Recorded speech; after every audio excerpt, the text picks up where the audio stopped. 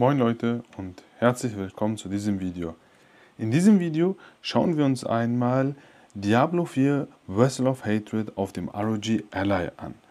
Und die Ausgangslage, mit der ich an die Sache jetzt herangehen werde, ist erst einmal, dass wir die Auflösung auf 900p reduziert haben. Dann habe ich das Grafik-Preset auf hoch gestellt und FSR 2 aktiviert. Ihr könnt wahlweise natürlich auch AFMF aktivieren. Ich habe das jetzt einmal so gelassen, da das noch nicht der offizielle Treiber ist. Ihr werdet dadurch aber nochmal natürlich einen erheblichen Performance Boost bekommen. Ich habe jetzt hier noch keinerlei ähm, Detaileinstellungen gemacht, aber selbst mit diesen Einstellungen hier erreichen wir wirklich fantastische Werte. Ihr seht es jetzt hier, die FPS-Anzeige ist endlich aufgeploppt und wir bewegen uns hier bei diesem Grafik-Preset bei ungefähr 60 bis 70 FPS. In den größeren Städten dürfte das ein bisschen nach unten gehen. Das ähm, möchte ich gar nicht abstreiten, aber trotzdem ist das insgesamt ein sehr, sehr rundes Erlebnis und es macht wirklich viel Spaß. Also das ist sehr, sehr flüssig hier, was man hier geliefert bekommt. Das war ja aber auch schon bei dem Ursprungsrelease von Diablo 4 so. So, wir sind jetzt hier in eine Höhle gegangen. Wir haben jetzt hier 60 FPS. Das ist ein bisschen weiter runtergegangen. Das liegt natürlich an den Mengen an Monstern hier. Aber trotzdem habe ich hier keinerlei Ruckler oder Standbilder. Also insgesamt wirklich sehr stabil.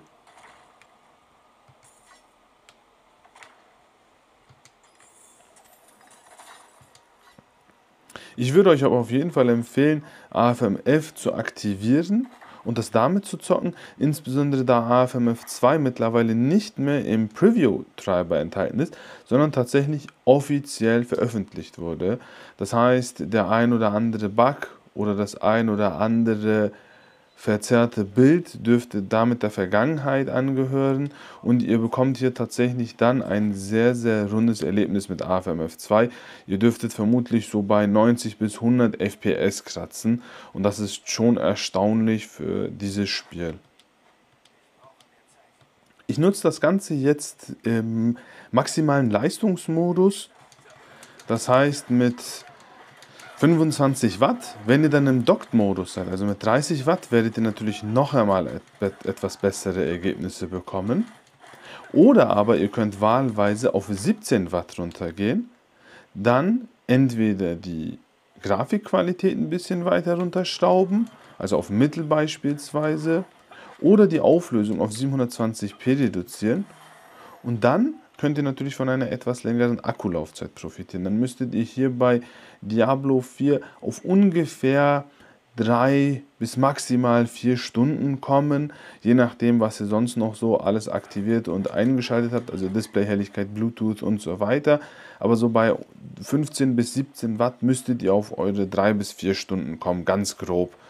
Und das ist natürlich nochmal ein sehr, sehr erstaunliches Ergebnis, liegt aber natürlich an dem großen 80 Wattstunden verbauten Akku beim Ally X. Die FPS-Anzeige ploppt jetzt hier und da immer mal wieder auf und verschwindet.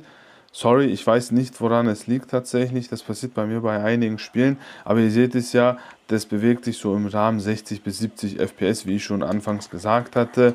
Und größere Standbilder waren ja auch nicht zu sehen. Ich habe ja jetzt hier auch keine Cuts oder ähnliches reingemacht.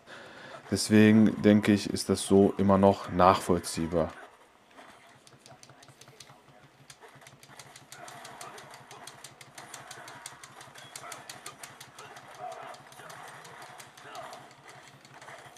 Jetzt in diesem Kampf ist es tatsächlich mal so passiert, dass wir hier unter 50 FPS kommen, wobei natürlich nicht so stark unter 50 FPS.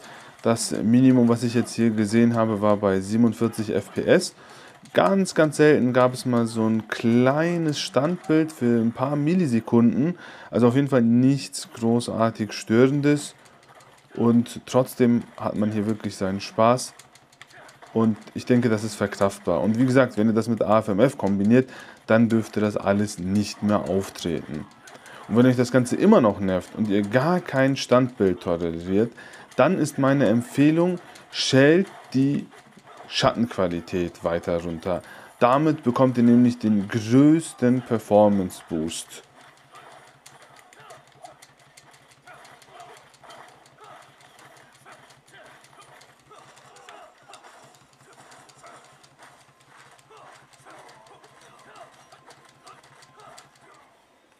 So Leute, und damit sind wir am Ende von diesem Video angekommen. Schreibt mir mal eure Meinung zu Diablo 4 Vessel of Hatred in die Kommentare. Ansonsten, ich bedanke mich fürs Zuschauen. Wenn es euch gefallen hat, lasst gerne ein Like und ein Abo da und wir sehen uns beim nächsten Mal. Ciao.